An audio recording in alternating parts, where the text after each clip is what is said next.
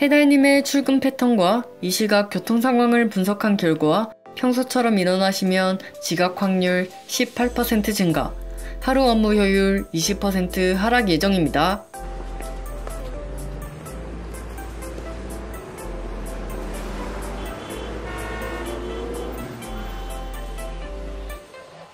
어제 주문한 간편식 컵밥 데워주고 아메리카노에 시럽 많이 넣어서 줘.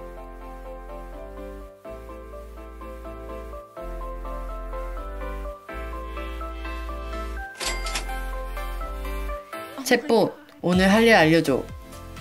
네, 해달님. 오늘 10시부터 마케팅 부서와 미팅이 예정되어 있습니다.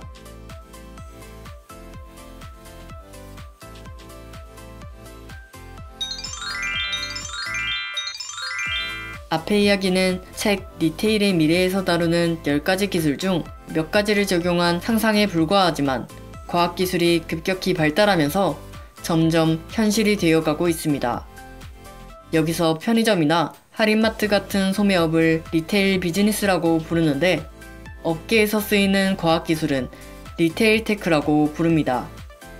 retail tech를 자세히 알아보기 전 미래의 소비를 주도할 Z세대에 관해 알아볼 필요가 있습니다. Z세대는 1997년 이후 태어나 올해 기준 만 22세 이하인 인구를 가리킵니다. 이들은 2007년 아이폰이 탄생한 후 스마트폰과 거의 한 몸처럼 살아오고 있죠.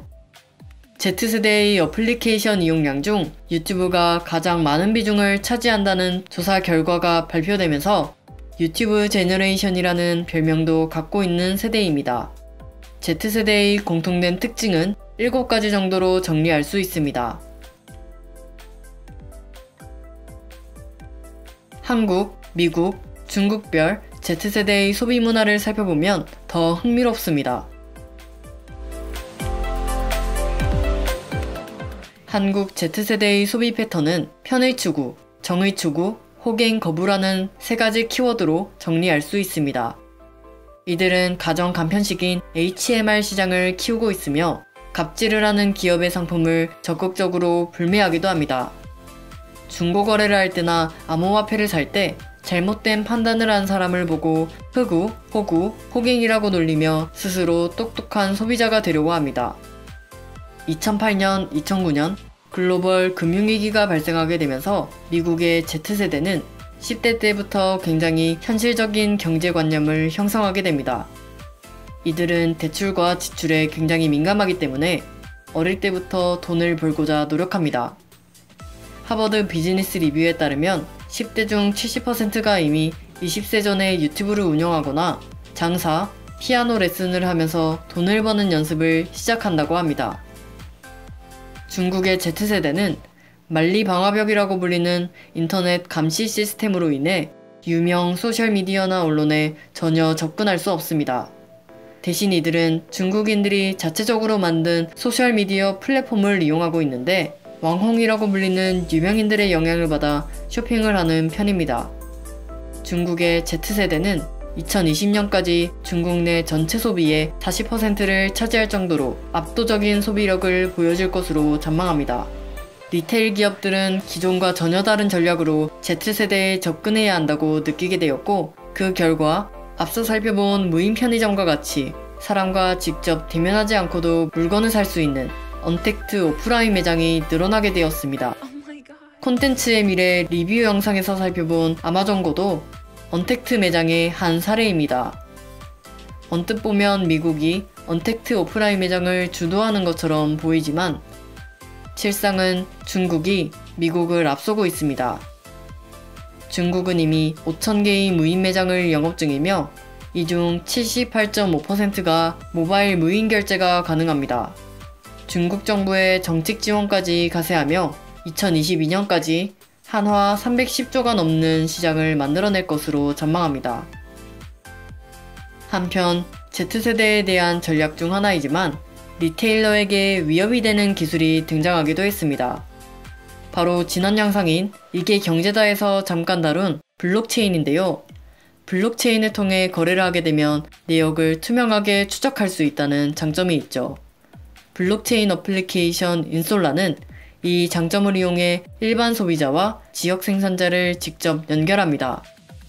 덕분에 판매를 중개하는 retailer 없이도 제품의 출처와 관리 상태를 신뢰할 수 있게 되죠. 리테일러가 제품에 붙이던 30%의 비용이 빠진 가격으로 제품을 거래할 수 있기에 생산자와 소비자 모두 제품을 합리적으로 거래할 수 있게 됩니다. 버크셔 해서웨이의 CEO 워런 버핏과 알리바바 그룹의 마비는 블록체인의 잠재력에 주목할 필요는 있지만 아직 데이터 무결성을 신뢰할 수 없다고 말합니다. 여기서 데이터 무결성은 데이터가 누락되지 않고 정확한 상태를 의미합니다. 정확성을 높이기 위해서는 사물 인터넷을 활성화하는 것이 한 방법이기 때문에 통신업계를 중심으로 사물 인터넷 생태계가 확대될 것으로 전망합니다. 이 중 아마존의 인공지능 스피커 에코에 주목해 봅시다. 에코의 알렉사를 이용하면 목소리만으로 쇼핑을 할 수 있습니다. 질문에 맞는 제품을 즉시 추천해 줌으로써 소비자의 의사결정 과정을 대폭 축소시켜주죠. 알렉사의 상품 추천 알고리즘 중 하나인 아마존 초이스가 어떤 방식으로 선정되는지는 베일에 쌓여 있습니다. 한 가지 추측은 아마존이 자체 브랜드 제품인 PB 제품을 늘려가면서 아마존 제품만 추천할 확률이 높아질 것이란 점입니다.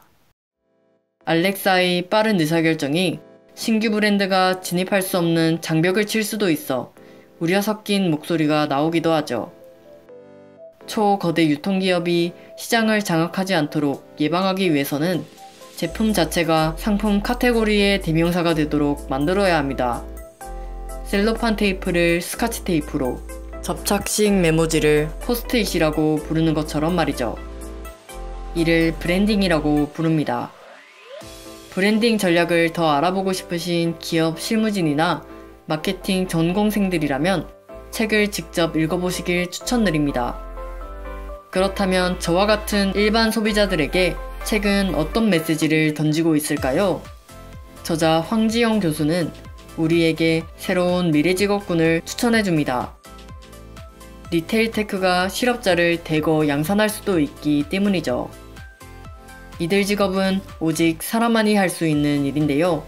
통찰력, 감정, 공감력, 창의력을 요구하기 때문입니다.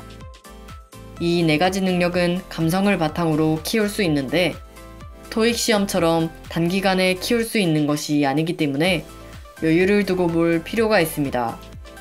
책이나 네트워킹을 통한 간접 경험, 그리고 직접 경험이 감성을 입체적으로 키우는데 도움이 된다고 하니 지금부터라도 능동적으로 경험하는 훈련을 시작해보는 건 어떨까요?